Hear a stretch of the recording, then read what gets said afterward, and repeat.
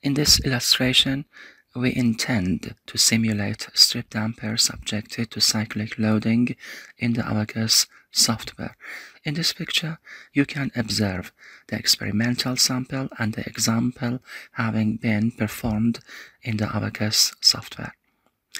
In this question, a cyclic loading is applied to the top of the strip damper and subsequently its hysteresis diagram will be drawn. In this picture, the hysteresis diagram obtained from the Abaqus software has been compared with the experimental results. As you observe, the results obtained from the Abaqus software are so close to those inferred from the article. Actually, we intend to simulate this article in the Abaqus software. The article is entitled Non-Uniform Steel Strip Dampers Subjected to Cyclic Loadings.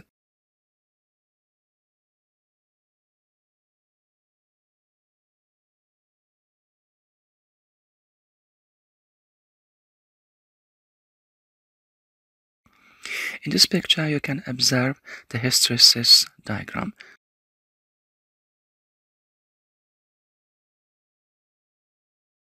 In this picture, the experimental sample can be observed.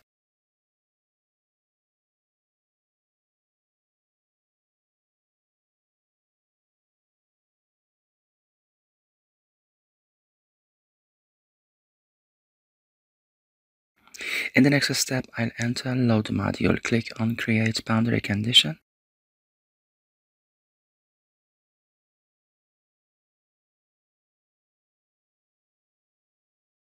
Select the bottom of the model, done, and close all boundary conditions of displacement for it. In this manner, the bottom of the model will become absolutely fixed click on seed part.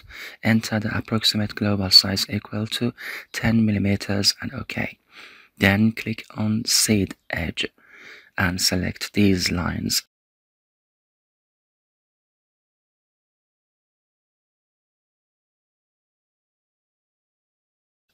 I will consider four elements for the thickness of strip damper. I'll click on mesh part and yes. I'll click on Assign Mesh Control. Here select Sweep and then Medial Axis. Click on Mesh Part and Yes.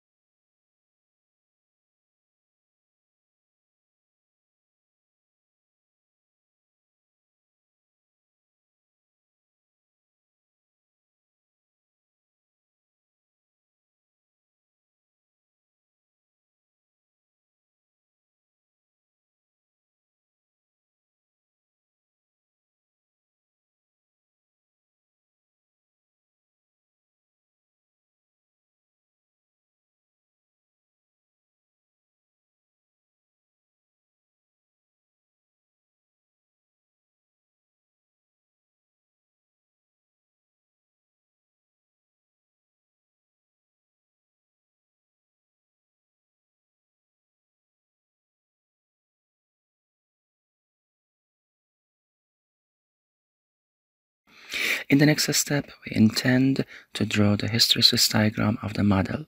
Actually, we intend to draw this diagram in the Abaqus software.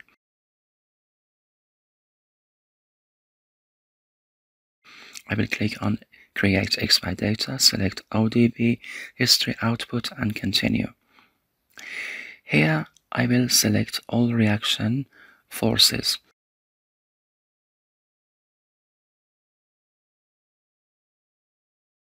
Click on Save As, then select Sum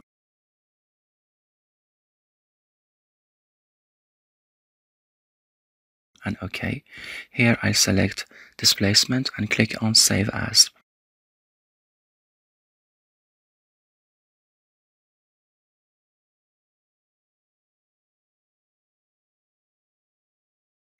I'll click on Create XY Data, select Operate on XY Data and continue. Here I select Total Force and divide that by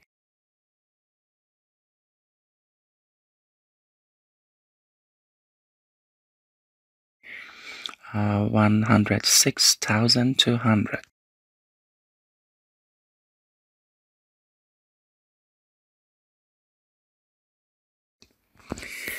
In this manner, this load will be converted to normalized load.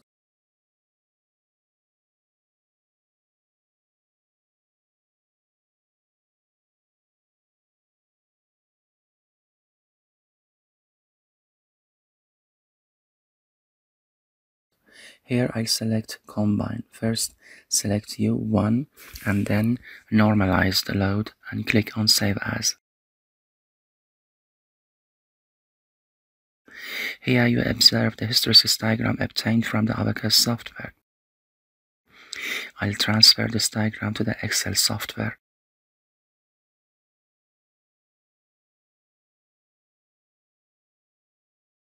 The first column is displacement, the unit of which is uh, millimeter.